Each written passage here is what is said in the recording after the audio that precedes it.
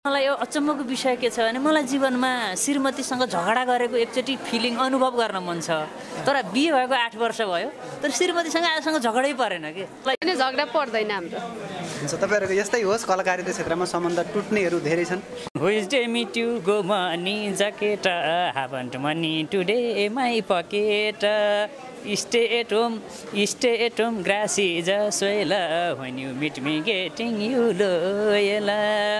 यसलाई फेरि अ, मैले नेपालीमा पनि भन्ने गरेको छु। अ, हजुर लकडाउनमा त एकदमै हामी मेहनतै गरेर अ, बिस मैले त एक दिनमा तिस पैँतिसवटा पनि बनाउँथेँ। रेकर्डै राख्नु अँ, भयो सायद 30 वटा कलाकार बनाएर। भएर मात्रै भयो भने। अब तपाईँहरूको यस्तो मिलेको जोडेको यो ब्रेभ विवाह चाहिँ कसरी भयो? छोटो one sided with winter season dew.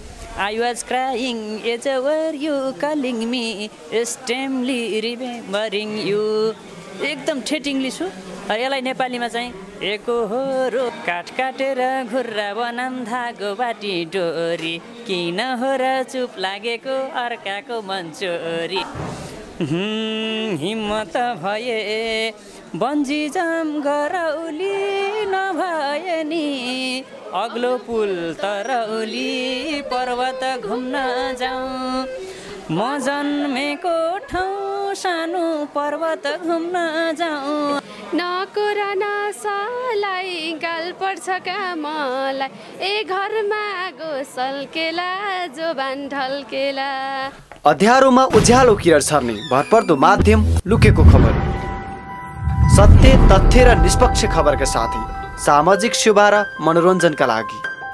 आउनुहोस् सब्सक्राइब गरौँ साथी बनाऊ दर्शकवृन्द नमस्कार। लुकेको खबरमा यहाँलाई हार्दिक स्वागत छ। म राजन परियार यति बेला उपस्थित भइसकेको छु। यो हाइलाइट्समा निकै रमाइलो यो ठट्यौरी पाराको यो हाइलाइट्स तपाईँले हेरिसक्नुभयो। सायद धेरैजनाले चिन्नु भएको छ होला। यदि चिन्नु भएको छैन भने यी दुवैजना कलाकार जोडीको छोटो परिचय गराउँछु। श्रीमान हुनुहुन्छ आरसी पौडेल। उहाँ राष्ट्रिय लोक तथा दोहोरी गीत प्रतिष्ठान गण्डकी प्रदेशको द्वितीय उपाध्यक्ष हुनुहुन्छ। त्यस्तै गरी उहाँको श्रीमती हुनुहुन्छ। पर्वत जिल्लाको प्रथम उपाध्यक्ष हुनुहुन्छ। यहाँहरू दुवैजनासँग केही रमाइला कुराकानी र गीत सङ्गीतको कुराकानी र उहाँसँग अर्को दोहोरीमा पनि एउटा अद्भुत क्षमता छ केही हाइलाइट्समा देखायौँ। त्यो विषयमा पनि कुरा गर्छौँ। दुवैजनालाई स्वागत छ। धन्यवाद। आशी सर र पूजा मिस काठमाडौँमा किन आउनुभयो? अ, हामी कलाकारहरूको साझा संस्था गौरवान्वित संस्था सम्पूर्ण काला कलाकारहरू अट्ने संस्था राष्ट्रिय लोक तथा दोहोरी गीत प्रतिष्ठानको केन्द्रीय साधारण सभा आयोजना गरिएको छ केन्द्रीय समितिद्वारा। त्यसै सिलसिलामा हामी हाम्रो केन्द्रीय घर आफ्नै कार्यालयमा आज साधारण सभामा उपस्थित हुन पर्वतदेखि आएका हौँ। पर्वतबाट काठमाडौँ आउनुभयो। हजुर। तपाईँलाई पर्वते राजा भन्छन् हो। हजुर मैले पर्वत जिल्लाको पेरिफेरीमा रहेर बहिनी सम्झना भण्डारीसँग एउटा गीत गाएको थिएँ जसको एल्बमको नाम पर्वते राजा। त्यो गीत मेरो एल्बमहरूमा सबैभन्दा चलेको गीत। त्यसले चर्चा परिचर्चा एकदमै धेरै पायो र पर्वत जिल्लाको पहिचानका लागि त्यो गीत गाइएको हुँदाखेरि त्यो गीतका कारणले मलाई चिन्ने र मेरो मेरा कारणले पर्वतलाई चिन्ने दोहोरो भएको कारण मलाई पर्वत राजा। हजुर। त्यस्तै तपाईँको श्रीमती पनि हुनुहुन्छ यहाँ। तपाईँलाई त टिकटकमा बेसरी देखिरहेको छु तपाईँको श्रीमान श्रीमतीको बारेमा। गीत सङ्गीत पनि त्यस्तै गाउनुहुन्छ नेतृत्व तहमा पनि हुनुहुन्छ। हजुर। कस्तो लागिरहेछ आज यो साधारण सभाको बारेमा? अलिकति भन्नुहोस् अनि हाम्रो तपाईँहरूको कलाकारितामा जान्छु। होइन ठिकै छ। रमाइलो लागिरहेछ सबैसँग भेट भइरहेछ। नेतृत्व गर्ने सिक्न पाइएको छ हेर्न पाइएको छ। हुन्छ गीत सङ्गीतका विषयमा थोरै कुरा गरौँ। तपाईँको श्रीमानले मैले पोखरा मौसममा आउँदाखेरि नेपाली गीतलाई इङ्ग्लिसमा गाएको सुनेको थिएँ। तपाईँले रिक्वेस्ट गर्नु पऱ्यो उहाँले गाउनु पऱ्यो आज अनि अरू गीत गाउँछ।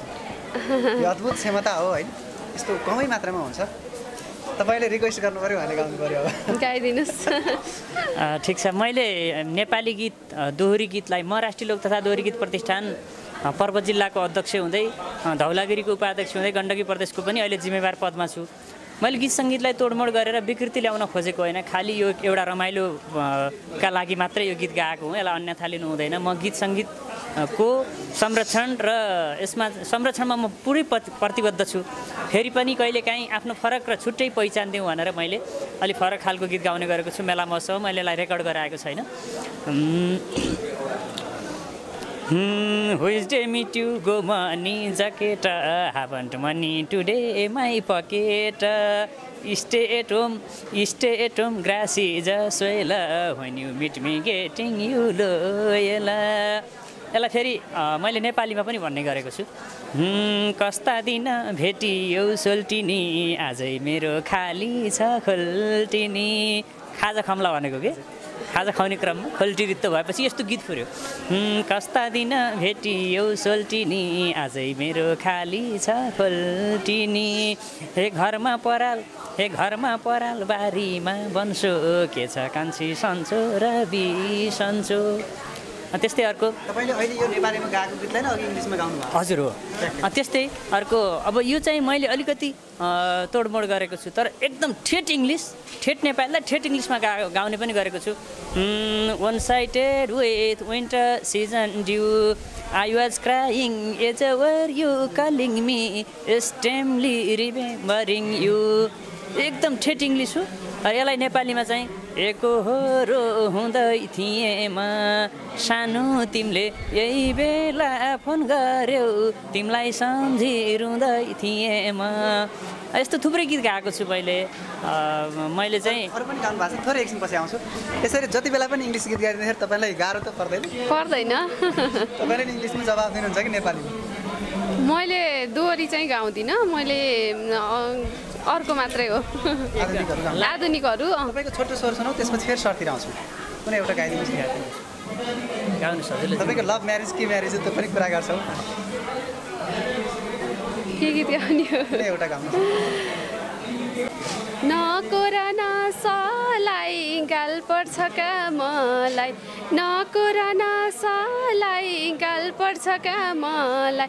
ए घरमा गो सल्केला जोबान ढल्केला घरमा गो सल्केला जोबान ढल्केला यो गीत तपाईँहरूको आफ्नै हो? हो। कहिले दुईजनाको हो कि उनले चाहिँ शब्द लेखनमा उनी र तेजस रेग्मी गायन चाहिँ स्वर चाहिँ मेरो र बहिनी मिरा कौशलको हो। अ, व्यस्त समयमा तपाईँहरूसँग थोरै कुराकानी गरियो काठमाडौँ आएको बेलामा है। हजुर। फेरि पर्वत कहिले आइन्छ आएको बेलामा फेरि गरौँला यहाँ आएको बेलामा व्यस्त समयमा थोरै रमाइलो कुराकानी।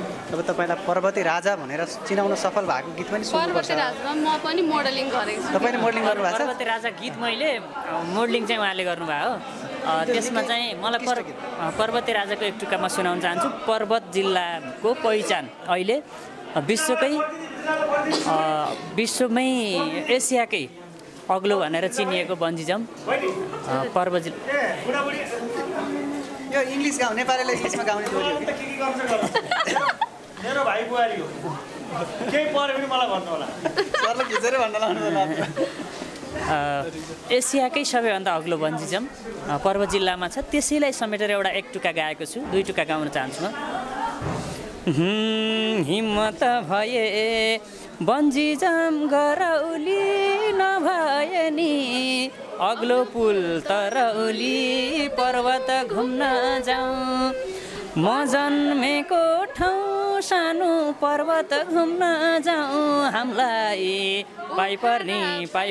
छ त्यतै भेटौँ अनि पर्वते राजा चाहिँ बहिनी सम्झना भण्डारीले गा गाएको टुक्का के छ भने नाच्दै गाउँदै नौमती बाजा जान मन छ। पर्वते राजा पर्वत घुम्न जाउँ। म जन्मेको ठाउँ सानो पर्वत घुम्न जाउँ। हामीलाई पोखरा पाइपर छ त्यतै भेटौँ आऊ यस्तो खालको छ।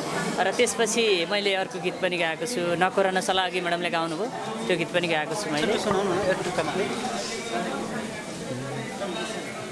काठ काटेर घुर्रा बनाम धागो बाटी डोरी। काठ काटेर घुर्रा बनाम धागो बाटी डोरी। किन हो र चुप लागेको अर्काको मन चोरी नकोर नसलाई नकोर नसलाई गाल पर्छ का मलाई? नकोर नसलाई गाल पर्छ का मलाई? ए खरमा आगो सल्केला जोबान ढल्केला। ए खरमा आगो सल्केला जोबान ढल्केला। ए खरमा आगो सल्केला जोबान ढल्केला। हुन्छ भित्र कार्यक्रम भइरहेको छ तपाईँहरूलाई बोलाइरहनु भएको छ। तैपनि छोटो समय दिनुभयो। यो बिचमा अब अलिकति कुरा तपाईँहरूको जोडी एकदम मिलेको जोडी टिकटकमा बेसरी भाइरल जोडी है। त्यसरी हेर्नुहुन्छ कि? टिकटक खुब राम्रो भिडियो बनाउनु छ त लकडाउनमा त कामै त्यही मात्रै भयो। हजुर लकडाउनमा त एकदमै हामी मेहनतै गरेर कतिवटासम्म टिकटक बिस मैले त एक दिनमा तिस पैँतिसवटा पनि बनाउँथेँ। रेकर्डै राख्नु मात्रै भयो भने। अब तपाईँहरूको यस्तो मिलेको जोडेको यो ब्रेभ विवाह चाहिँ कसरी भयो? थोरै छोटोमा सुनाइदिनुहोस्। म पर्वत जिल्लामा म योभन्दा अगाडि म कलाकार मात्रै थिएँ। त्यो त्यस सन्दर्भमा म दोहोरी गाउनको लागि उहाँको गाउँमा गएको थिएँ। गाउँमा जाने क्रममा उहाँलाई मैले देखेँ तर उहाँले पनि मलाई त देख्नुभयो म त गीतै गाएर झरेँ। मैले उहाँलाई देखेँ एकदम राम्रो चिनाजानी भयो तर त्यति मात्रै थियो। पछि त्यो चिनाजानी नै सम्पर्क बढ्दै फोन सम्पर्क हुँदा हुँदै प्रेममा परिणत भयो र हामी चाहिँ एकअर्कालाई यसो हेर्दा पनि सँगै उभिँदा पनि अचन्तै मैले पनि आफूलाई साह्रै राम्रो देख्ने कि उनको छेउमा उभिँदा। अनि त्यसपछि मैले प्रेम प्रस्ताव गरेँ उहाँले स्वीकारे उनले स्वीकार। हजुर। त्यो पहिलो प्रपोज के भनेर गर्नुभएको के भन्ने खै थियो अनि भनौँ न। तिमीलाई जनता जान्न चाहन्छु। जे जे भने त्यही त्यही भन्नु, मन भन्नु। आज। मन पर्छु बे गर्न चाहन्छु भनिदियो त्यही। स्टाइलमा भन्नुभयो कि फुल दिएरै? मेरो जिन्दगीमा आउन चाहन्छु भन्नुभयो। म त सानै थिएँ छन त। मन पराउनुहुन्थ्यो? उहाँलाई तपाईँले मन मनकै कुरा भनिदिए जस्तो भएको थियो। भएको थियो। मनकै कुरा भने जस्तो भएको थियो। त्यसपछि कति वर्ष प्रेमपछि विवाह एक डेढ वर्ष। डेढ वर्ष करिब। विवाहपछि यस्तो मिल्छ बाहिर हेर्दा त तर भित्र त झगडा पर्छ भने दुवैजना कलाकार कतिको झगडा गर्नुहुन्छ? यो यो मलाई यो अचम्मको विषय के छ भने मलाई जीवनमा श्रीमतीसँग झगडा गरेको एकचोटि फिलिङ अनुभव गर्न मन छ। तर बिहे भएको आठ वर्ष भयो। तर श्रीमतीसँग आजसँग झगडै परेन कि।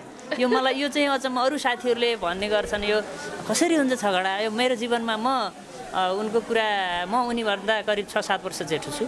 तर म ममा एउटा भावना के छ भने म अहिले तेत्तिस वर्षको चल्दै गर्दा उनी सत्ताइस छब्बिस वर्षको चल्दै गर्दा म छब्बिस वर्षको हुँदा मेरो दिमागमा के कुराहरू खेल्थेँ? म के सोच्थेँ मेरो चाहना के थियो?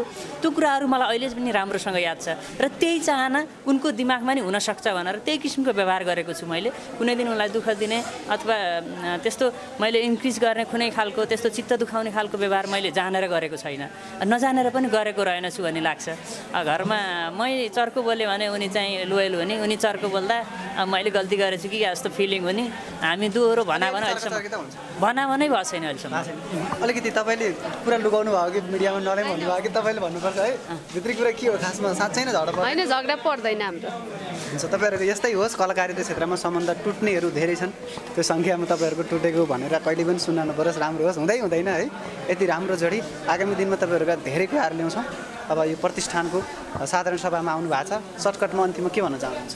अ, हामी कलाकारहरू म खासमा मोफसलमा छु। अ, म लाइभ दोहोरीबाट अहिलेसम्म लाइभ दोहोरीमा अत्यन्तै ठुलो मैले करिब बिस पच्चिसवटा महोत्सवमा प्रथम स्थान हासिल गरेँ।